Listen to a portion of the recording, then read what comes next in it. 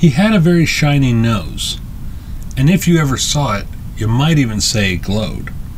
All of the other reindeer used to laugh and call him names.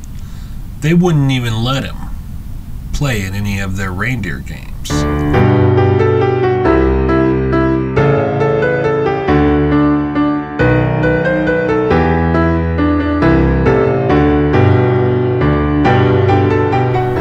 Rudolph first appeared in a book written by Robert L. May in 1939 and published by the Montgomery Ward department store. May considered naming the reindeer Rollo or Reginald before deciding upon using the name Rudolph. Retailer Montgomery Ward had been buying and giving away coloring books for Christmas every year. However, they soon decided that creating their own book would save money, and so they approached May about creating one for them. The inspiration for Rudolph came from May's daughter, who liked reindeer, as well as his own childhood experiences with the way he was treated in school. Once it was completed and published, Montgomery Ward sold 2.4 million copies of the story. The original story, as presented in the book, was actually written as a poem, in the same meter as A Visit from St. Nicholas, which is better known as Twas the Night Before Christmas. While May was pondering how best to craft his Christmas story about a reindeer, he was staring out his office window in downtown Chicago as a thick fog from Lake Michigan blocked his view. This gave him a flash of inspiration. Suddenly, I had it, he recalled. A nose, a bright red nose that would shine through the fog like a spotlight. But the story was initially rejected due to the idea that a red nose at that time was associated with alcoholism. May asked his illustrator friend Denver Gillen at Montgomery Ward to draw a cute reindeer using zoo deer as models. The alert, bouncy character Gillen developed convinced management to support the idea. Maxton Books published the first mass market edition of Rudolph in 1947, and a sequel, Rudolph the Red-Nosed Reindeer Shines Again, in 1954. In 1992, Applewood Books published Rudolph's Second Christmas, an unpublished sequel that Robert May wrote in 1947, and in 2003, Penguin Books issued a reprint version of the original Rudolph the Red-Nosed Reindeer with new artwork by Lisa Papp. Rudolph made his first on-screen appearance in 1948 as a cartoon short produced by Max Fleischer for the Jam Handy Corporation that was more faithful to May's original story than the song, which was written the following year. May's brother-in-law Johnny Marks adapted the story of Rudolph into a song, while Gene Autry's recording of the song hit number one on the Billboard Pop Singles the week of Christmas 1949. Autry's recording sold 2.5 million copies the first year, eventually selling a total of 25 million, and it remained the second best-selling record of all time until the 1980s. The best known and most popular interpretation of the story is, of course, Rankin Bass's stop motion animated TV special, which was released in 1964. In the movie, Rudolph is born to Donner the reindeer and Donner's wife. He is discovered by Santa to have a shiny, glowing red nose.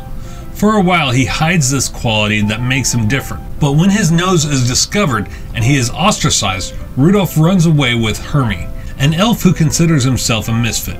On their aimless journey, they ran into Yukon Cornelius, an attempt to stay away from the Bumble, a huge, abominable snowman. Their journey leads them to the island of Misfit Toys, where sentient but unorthodox toys go when they are abandoned by their owners. When Rudolph returns, he discovers his family went to look for him and must be rescued. Then Santa announces that due to bad weather, Christmas must be canceled. Santa changes his mind though when he notices Rudolph's red nose and asks Rudolph to lead the sleigh team, which he happily accepts. After the story's initial broadcast, its closing credits were revised. Images of wrapped presents being dropped from Santa's sleigh were replaced by a scene in which Santa stops to pick up the misfit toys and delivers them to the homes of children below via umbrellas. The changes were prompted by viewer feedback pleading for a happy ending for the Misfit toys as well. The special now airs annually on CBS rather than NBC, and is hailed as a classic by many. The special's original assortment of characters have acquired iconic status, and an uncertainty surrounding an error in the special's copyright has allowed the special to be widely parodied and imitated in the decades since its original airing. The success of the special led to two sequels Rudolph's Shining New Year, which originally aired in 1976 and continued the reindeer's journeys, as well as the feature length film Rudolph and Frosty's Christmas in July, which originally aired in 1979. The latter special integrated the Rudolph universe into that of Rankin Bass's adaptation of Frosty the Snowman, which originally premiered in 1969.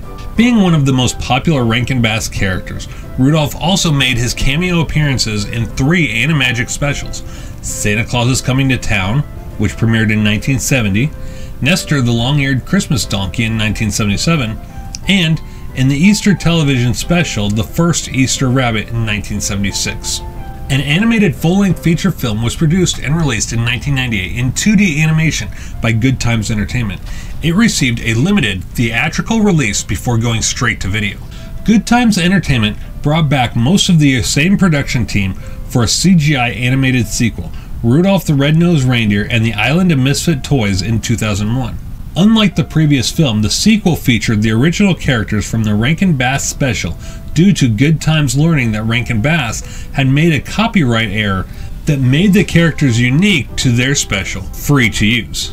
A live action version of Rudolph, complete with glowing nose, along with Donner and Blitzen, appeared in the Doctor Who Christmas special, Last Christmas, which was broadcast on BBC One on December 25, 2014. In this special, Santa is able to park him like a car and turn off his nose. So I hope you guys enjoyed this Christmas edition of History and Origins. Please stay safe this holiday season and enjoy your celebrations with family and friends, even if only virtually. Merry Christmas, everyone, and happy holidays. If you enjoyed that video, make sure you hit the subscribe button right there so you stay up to date on all things geek culture. Also, go ahead and check out one of these two playlists on the side for more videos just like the one you just watched. I'm Shannon for Comic TV, the only place on YouTube where all geek culture collides. Take care, geeks.